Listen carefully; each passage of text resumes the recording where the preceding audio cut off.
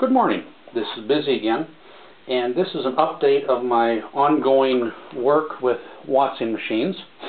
As you can see from my last video, I have added an extra alternator on top, so there's actually two alternators, one below with the uh, trigger wheel on there that triggers the switch, and then this one here adds additional current to my whole system.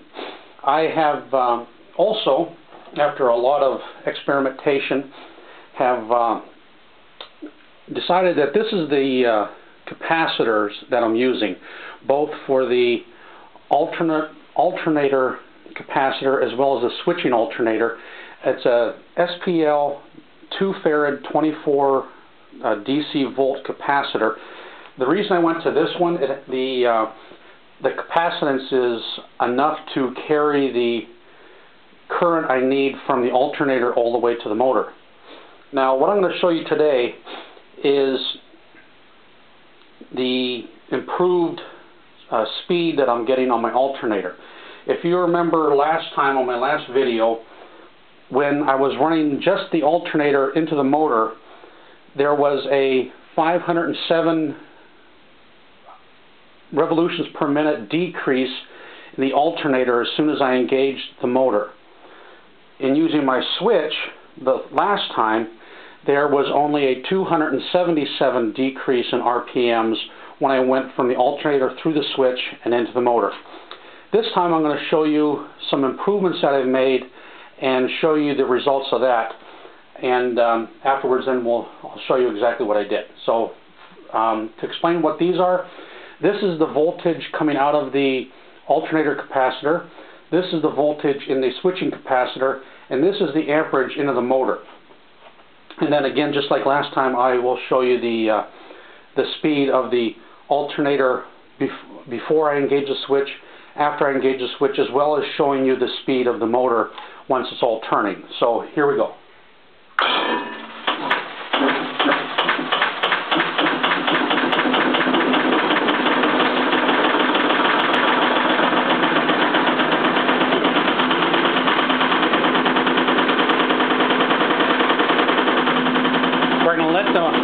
Alternator get up to speed, and the way I know it's going up to speed is when the, uh, the meter gets up to 20.4.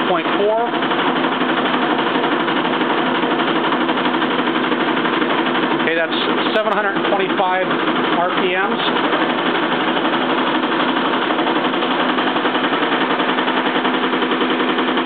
We're going to let the alternator balance out.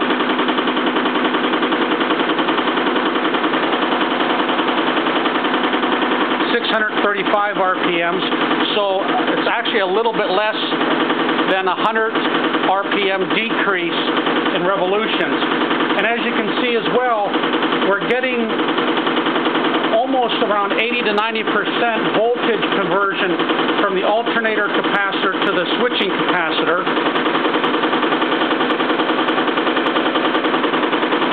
And we're getting 2100 RPMs off of the motor.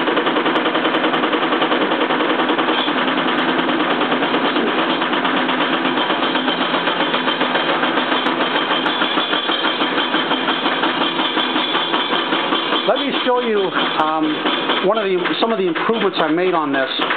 This right here are, is, is the schematic that I've been using. Uh, these are the diodes coming off of the alternator. This is the switching or the alternator capacitor right here. You really can't see it, but behind these meters is the is the uh, switching capacitor, and then behind the motor here are my flyback diodes. Now, what I've done is traditionally a flyback, flyback diode would go from one side of the motor to the other.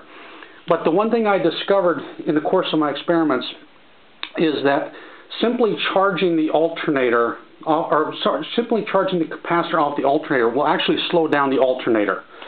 Um, so that when this capacitor back here um, makes contact through the switch with this other capacitor, drains this capacitor, and then this capacitor has to slow down again, or charge again, which means that the alternator is actually slowing down.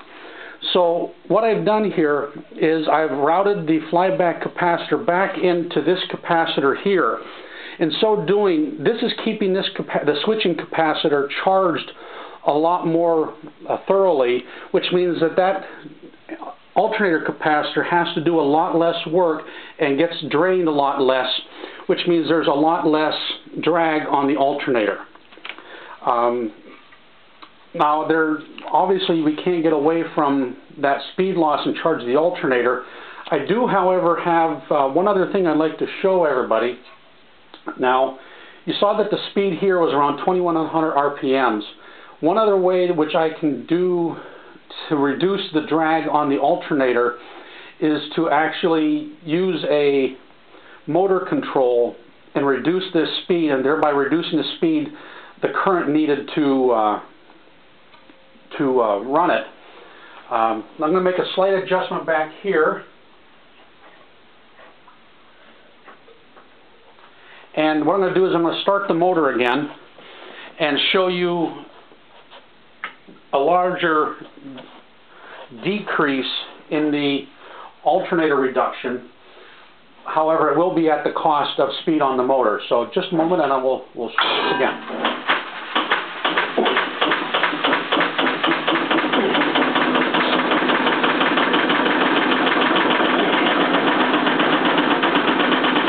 we'll wait till the uh, voltage builds up in the alternator, which tells me when I'm ready to switch over. Okay.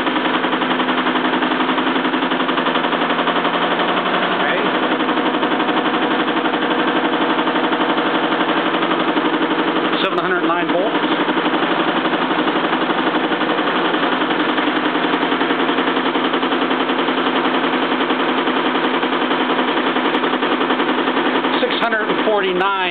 So roughly around only a 15 Drop in the alternator and engaging this.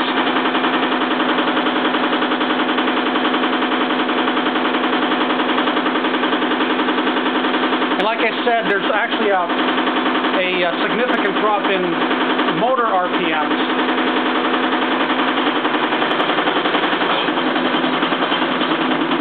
I am, however, working on a way to increase to maintain the high RPMs in the motor while still decreasing the RPM reduction in the alternator.